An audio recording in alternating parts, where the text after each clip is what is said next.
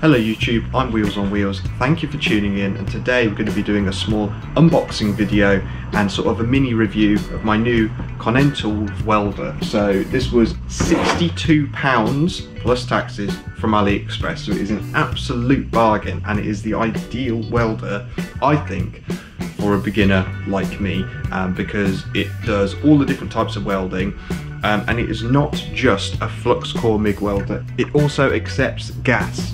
So you can supposedly do proper MIG welding with this. So I know some of you might be thinking, oh, there's no way you could do real MIG welding with a 62 pound welder. Um, and I haven't actually tried the gas part of the welding yet. I've tried the flux core part of the welder and it works pretty well. As you can see here, um, it's not the prettiest weld in the world. It's my second ever MIG weld. But um, yeah, it works. So there you are.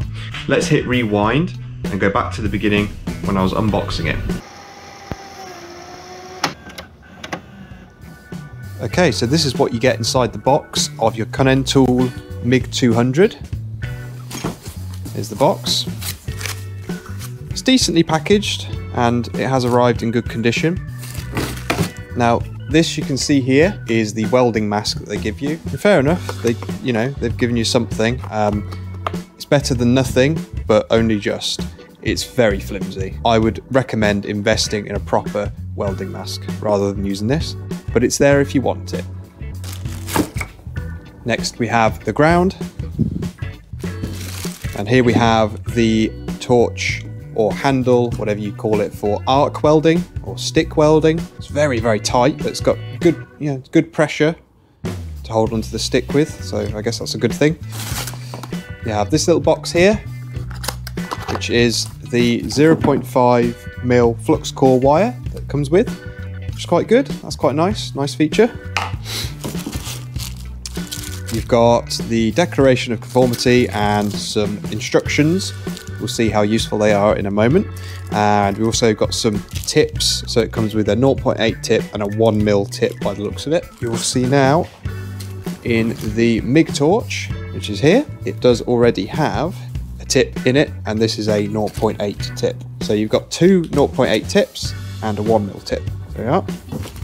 So here, here it is. It's quite good. Decent length on that uh, on that MIG torch. There we are. And here we have the welder itself.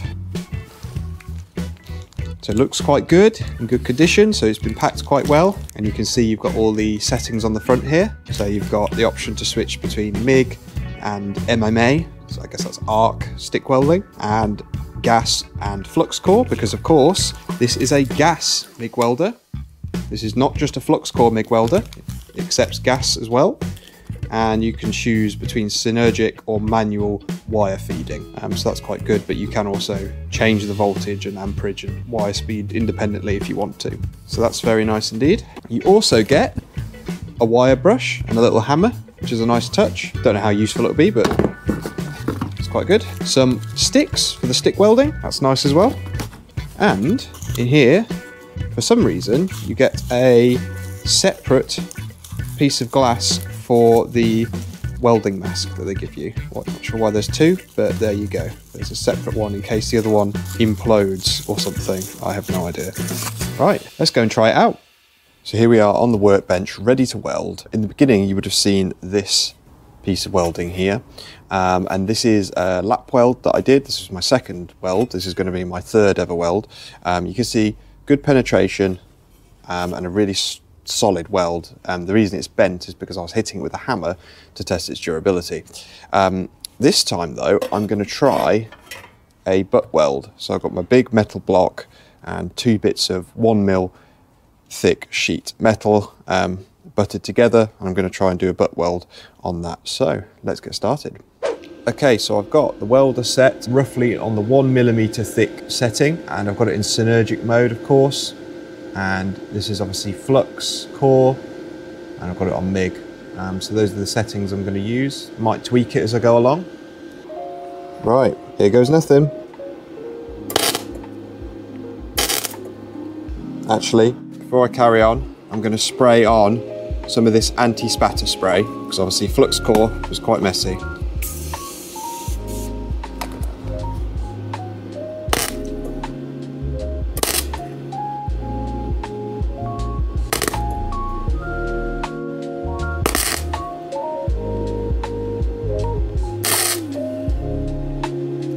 And we'll move down here a little bit, just to give that time to cool.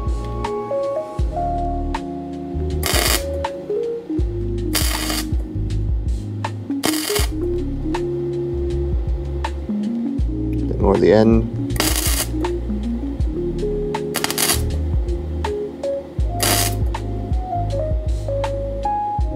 back in the middle a bit.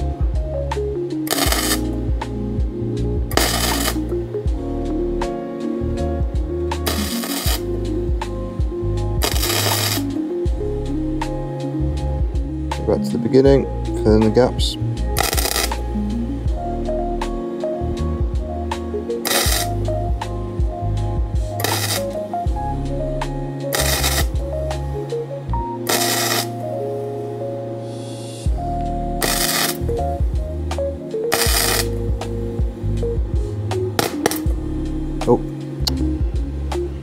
Go a bit long.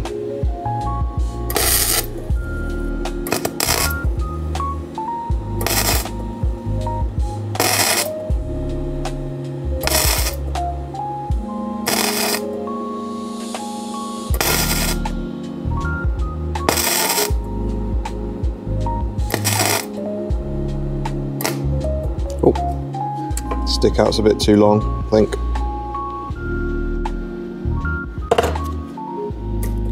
Keep in mind, I am brand new to welding.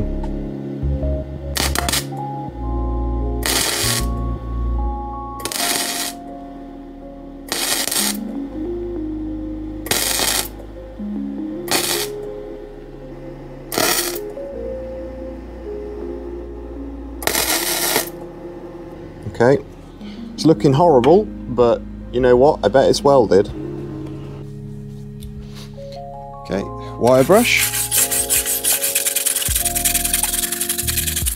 Do you know what? That looks like a weld. Just find something to wipe this down with. Wow, that anti-spatter spray is fantastic. Completely gets rid of all the spatter. That's great.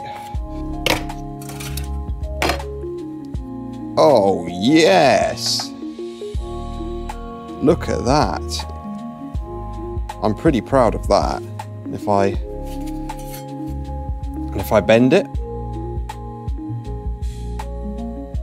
Oh, wow. Hey, that's pretty good. So you can see penetration on the back there.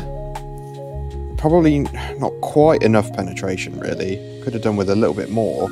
So perhaps turn the uh, amperage up just slightly, but I think that's pretty good. Now the real test is will it withstand a hammer in the vise? Let's try it. Now it's time for the official will it withstand a hammer in the vice wheels approved test or something.